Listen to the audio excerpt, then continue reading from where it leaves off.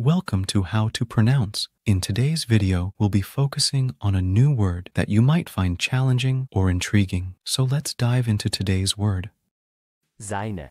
which means A large fishing net for encircling fish. let's say it all together. Seine. Seine. Seine. One more time. Seine. Seine. Seine. Thank you for joining us on this adventure in pronunciation. Remember, language is a journey, not a destination. Keep exploring, experimenting, and expanding your linguistic horizons. We'll see you next time.